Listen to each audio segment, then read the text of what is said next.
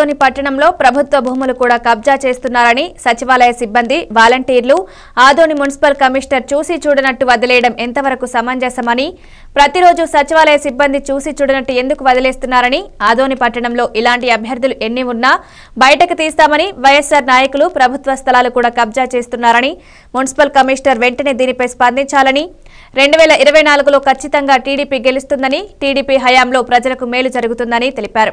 ఈ కార్యక్రమంలో టీడీపీ నాయకర్త కార్యకర్తలు తదితరులు పాల్గొన్నారు. సంబంధించిన లీడర్లు ఉండాలని తీసుకెళ్తారే. మరి ఇంత నిర్మాణం జరుగుతున్నా కూడా కనీసం పట్టించుకోలేదా? నిర్మాణానికి అనుమతి ఇచ్చారా? నేను కమిషనర్ గారిని అదే అడిగాను. ఆయన మాకు సంబంధమే లేదు మాకు తెలియనే తెలియదు అని అంటున్నారు.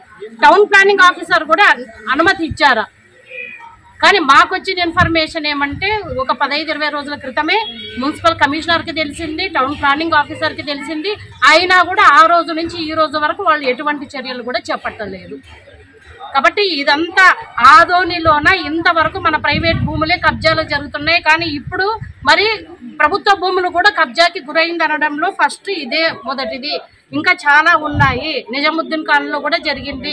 కాబట్టి ఆదోని ప్రజలందరూ కూడా మేల్కోవాల్సిందిగా నేను కోరుతున్నాను. ఈ వైసీపీ నాయకుల నుంచి మన ఆదోనిని రక్షించుకుందాం. ఈరోజు ఆదోనిలోన భూమి కొనాలంటే భయపడుతున్నారు. ఏది కబ్జాకి గురైందో ఏది కబ్జాకి గురి కాలేదని భయపడుతున్నారు ప్రతి ఒక్కరు కూడా. ఇక్కడ పాలన అనేది ఉందా? ఇక్కడ గవర్నమెంట్ అనేది ఉందా? అట్లాంటప్పుడు ఎందుకుంటున్నారు మీరు? మీరు కండవాలు వేసుకుని వాళ్ళ పక్కన కూర్చుంటే అయిపోయింది కదా అధికారులందరూ ఎంత నిర్లక్ష్యంగా మీరు వ్యవహరిస్తున్నారు. కాబట్టి ఇప్పటికైనా కమిషనర్ గారు ఎవరో వచ్చి కంప్లైంట్ చేస్తే కాదు మీరు వచ్చి చూడండి. చూసి ఇది నిజంగా మీ మున్సిపాలిటీ పరిధిలో నుంచి ఇచ్చారా? అనుమతి ఇచ్చారా లేదా అనేది చెక్ చేయండి అని చెప్పి ఈ సందర్భంగా నేను తెలియజేసుకుంటున్నాను. తొందరలోనే ఇట్లాంటివి ఎన్నున్నా కూడా మేము బయటకు పెడతాం. అదేవిధంగా నెక్స్ట్ మా గవర్నమెంట్ రెండు వేల ఇరవై నాలుగులో మా గవర్నమెంట్ వచ్చిన వెంటనే ఏ ఏవి కబ్జా చేశారో అవన్నీ కూడా మేము తీసుకొని మున్సిపాలిటీ పరిధిలోకి కలుపుకుంటాం.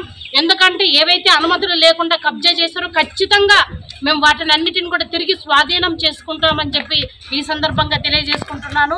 దయచేసి ఆదోని ప్రజలందరూ కూడా మేల్కోండి. మీ చుట్టుపక్కల మన